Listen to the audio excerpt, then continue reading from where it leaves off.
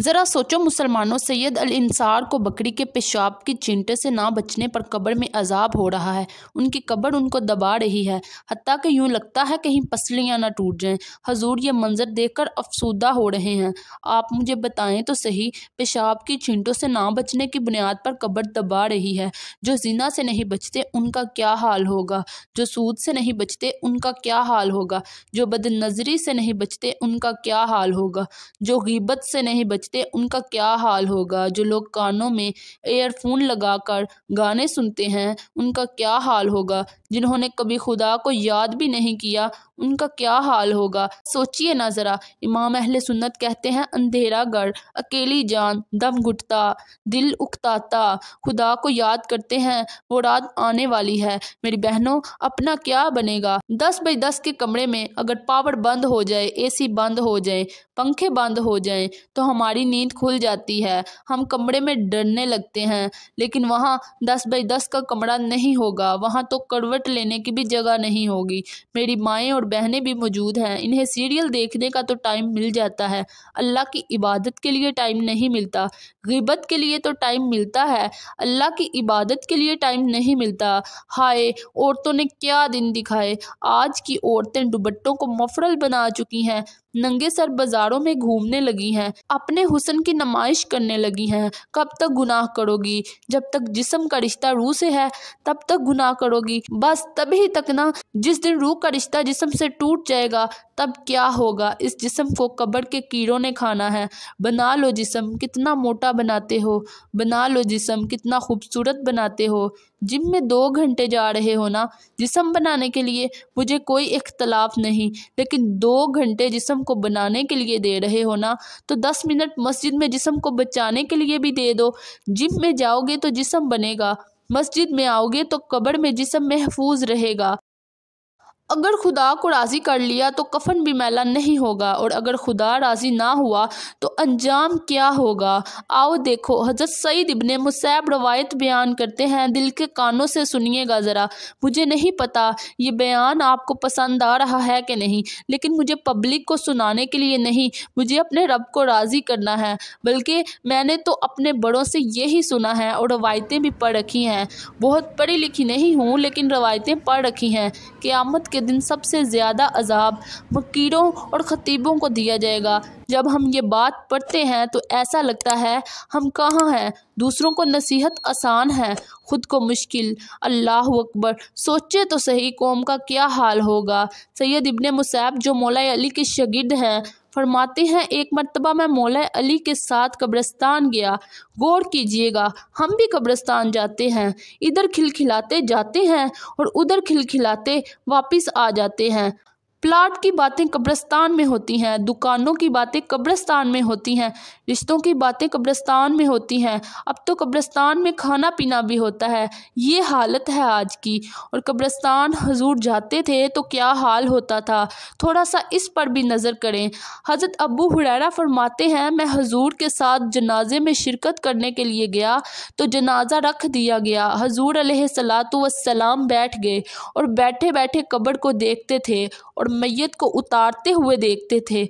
हजूर इतना रोए कि दाढ़ी आंसुओं से भर गई और मिट्टी और मट्टी जो ज़मीन में थी, वो भी तर हो गई, कीचड़ हो गया। वहाँ हमने कहा, आका, क्यों रो रहे हैं? फरमाया, कब्र को याद करके रोना आ गया, जिसके आने से कब्र जन्नत के बागों में से एक बाग बन जाती है। वो हजूर कब्र को देख कर रोते हैं तो कुछ तो होगा ना कब्र में। उम्मत को तालीम देना मकसद है। हमने कब रोया कब्रों को देख कर खिलखिलाते गए और खिलखिलाते निकल आए। हज़ारों कब्रें देखी, दर्जनों को अपने हाथों से दफन किया, ये गौर भी किया कि इस मट्टी में पैदा हुए हैं, इस मट्टी में मिला दिए जाएँगे, इसी से फिर उठाए जाएँगे। सोचो, वो दिन कितना बेहानक होगा, जिस दिन हमें मिट्टी में मिलाया जाएगा। वो भी इज़्ज़त से नहीं वो भी इज़्ज़त से नहीं मिलाया जाएगा, मिट्टी में अजाब के साथ मिलाया जाएगा। अगर खुदा को राज़ी ना किया, उसके महबूब को राज़ी ना किया, बल्कि मेरी बहनों और भाइयों, कब्र तो वो है, इब्ने हिजर लिखते हैं, एक बुज़ुर्ग के हाथ एक कफन चोर ने तोबा की। कहा, क्यों तोबा कर रहे हो? चोर ने कहा, कफन चुराते चुराते मैंने बहुत इबरत की बातें देखी और अब मैं तोबा करना चाहता हूँ। बुज़ुर्ग ने पूछा, ये तो बता, तूने मुसलमानों के कफन चुराए हैं ना? तूने कितनी कब्रें ऐसी देखी, जिनमें मुसलमानों के मुँह किबले की तरफ़ थे और कितनी ऐसी कब्रें देखी, जिनके चेहरे किबले से फिर गए थे। तो कफन चोर कहता है, अगर मैंने एक हज़ार कब्रें खोदी हैं तो उसमें निन्यानवे फ़ीसद लोगों के चेहरे किबले की तरफ़ से फिरे हुए थे और एक फ़ीसद लोगों का चेहरा किबले की तरफ़ देखा। ये कब्र का हाल है। उन्होंने अपने उस्ताद को ख़त लिखा कि कफन चोर ने मेरे हाथ में तोबा की है और अब वो कहता है कि मैंने अगर हज़ारों लोगों की कब्रों को खोदा है तो निन्यानवे के चेहरे किबले की तरफ़ से फिरे हुए थे। एक का चेहरा किबले की तरफ़ देखा। ये चेहरे क्यों फिर जाते हैं? उस्ताद लिखते हैं, जो लोग दुनिया में हजूर की सुन्नत के ख़िलाफ़ अमल करते हैं, बनने के बाद उनके चेहरे किबले से फिर जाते हैं। जो सुन्नत के ख़िलाफ़ अमल करे, उनके चेहरे कब्र में फिर जाते हैं। और जो फ़र्ज़ भी अदा ना करे, यानी दाढ़ियाँ मुंडवाई, बनने के बाद चेहरा किबले से फिर गया शराब पी चेहरा फिर गया गिब्बत की चेहरा फिर गया। हराम खाया, चेहरा फिर गया। गरीब नमाज़ मुझे याद आते हैं, एक बार हजूर गरीब नमाज़ वज़ू कर रहे थे। सुन्नत की बात आई, फ़र्ज़ बहुत बड़ी चीज़ है। सरकार गरीब नमाज़ जल्दी जल्दी वज़ू किया, क्योंकि वो सफ़र में थे। वज़ू के बाद नमाज़ पढ़ी तो लज्जत नहीं आई। इसका मतलब नमाज़ में लज्जत है। बेशक तभी तो लज्जत आती है ना, हमें कुछ नहीं मिलता, क्योंकि खाने में उसको मज़ा नहीं आता, बल्कि दाल भी कड़वी लगती है, अचार भी करवा लगता है वजह क्योंकि उसको टाइफाइड है, इसलिए इसे सारे खाने बुरे लगते हैं। अरे, क्या यार, छोड़, क्या पका रखा है? कभी कभी इस पर झगड़ा हो जाता है। मेरे अज़ीज़, तुझे बीमारी है ना? इसलिए तुझे खाने अच्छे नहीं लग रहे। लोग कहते हैं क्या नमाज़ की बात लोग लगाते हैं। अरे, नमाज़ की लज्जत एक बार मिल जाए तो अगर तलवारों से ज़ख्मी भी हो जाए तो तब भी नमाज़ ना छोड़े। अगर नमाज़ में लज्जत मिल जाए, फिर मौला अली के रंग में कहोगे कि अगर जन्नत मिली तो नमाज़ का मौका मिले तो हम जन्नत छोड़ देंगे, मगर नमाज़ नहीं छोड़ेंगे। और खाने में लज्जत इसलिए नहीं मिलती कि टाइफाइड का मर्ज है। नमाज़ की लज्जत इसलिए नहीं मिली क्योंकि गुनाहों का मर्ज है। अगर गुनाहों का मर्ज ख़त्म हो जाए तो खुदा की इज़्ज़त की कसम, नमाज़ वो लज्जत है। आदमी सारी दुनिया एक तरफ़, नमाज़ की लज्जत एक तरफ़। नमाज़ की लज्जत जिनको मिली, वो पूरी पूरी रात सजदे में रहे। जिन्हें लज्जत मिली, उनके तीर खींच लिए गए। उन्हें खबर नहीं, जिन्हें लज्जत मिली तो गरीब नमाज़ फरमाते हैं, लज्जत नहीं मिली। इस दिन मैं हैरान हुआ, क्योंकि लज्जत नहीं मिली। गौर किया तो पता चला, मराकबा करने के बाद वज़ू में उंगलियों का खलाल करना नबी पाक की सुन्नत है।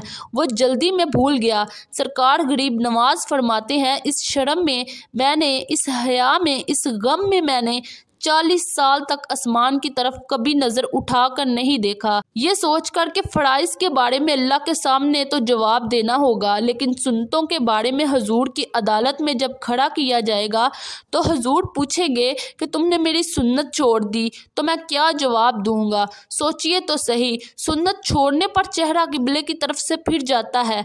नाजरीन, आपको ये बयान इसलिए सुनाया गया है कि अपने अमाल पर रो लो, अपने गुनाहों का एहसास कर लो।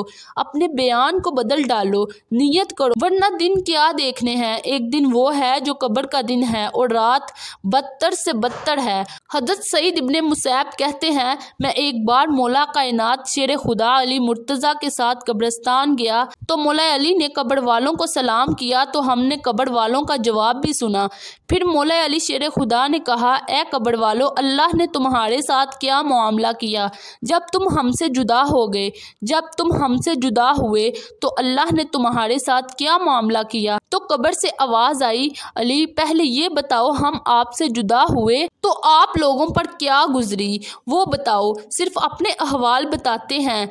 तो चूँकि मौला अली से सवाल था, बाप मदीना से सवाल था, शेर खुदा से सवाल था, फ़तेह खैबर से सवाल था, दमाद रसूल से सवाल था जोजा बतूल से सवाल था अबुल हुसनैन से सवाल था, नातिक कुरान से सवाल था, सरकार अली पाक से सवाल था। तो मौला अली ने फरमाया, तुम अगर ये जानना चाहते हो कि तुम हमसे जुदा हुए और हम पर क्या गुजरी तो सुन लो। फरमाया, पहली चीज़ ये हुई कि तुम्हारे इंतकाल के बाद तुम्हारा माल तुम्हारे वारसों में तकसीम हो गया। और लोग तो आज बेटे, बेटियाँ, बाप का जनाजा उठता है, लोग प्लान करने लगते हैं कि अब बाप की विरासत तकसीम होगी तो मैं ये करूँगा, मैं वो करूँगा।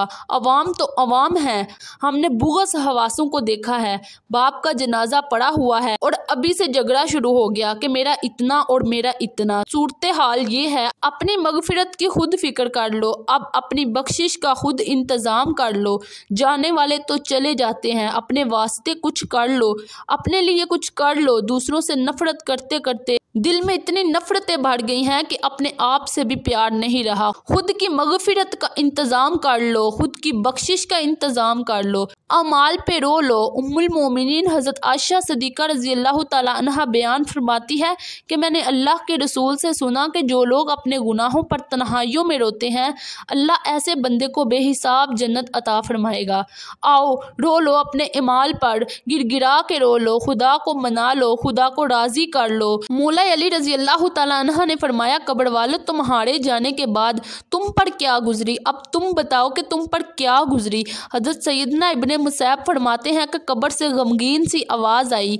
ए अली तो सुनिए, जब आपसे जुदा हुए तो हम पर क्या गुजरी? आवाज़ आई, अली, जब हम आपसे जुदा हुए तो इतना अंधेरा था, एक हाथ को दूसरा हाथ सुजाई नहीं देता था। मिट्टी ही मिट्टी थी। ऊपर नीचे, आगे पीछे, दाएँ बाएँ। और अली सुनो, जिन आँखों पर हम बड़ा अतराते थे, उन आँखों का बुरा इस्तेमाल करते थे। सही गलत की कोई फ़िक्र ना थी। वो आँखें पानी बनकर बह गई हैं। हमारी आँखें पानी बनकर बह गईं। और फिर आवाज़ आई, हमारे बाल झड़ गए। सर के बाल, पूरे जिस्म के बाल झड़ गए। आँखें पानी की तरह बह गई। हम बालों के लिए कितने हसास हैं, लेकिन कब्र में क्या हाल होगा? इसके लिए क्या इंतज़ाम किया है। कब्र में बाल महफूज रहेंगे। अगर बालों को झरने से बचाना है तो वहाँ शैम्पू कंडीशनर की ज़रूरत नहीं है। वहाँ सजदों की ज़रूरत है। पाक दामनी की ज़रूरत है। गुनाहों से बचने की ज़रूरत है।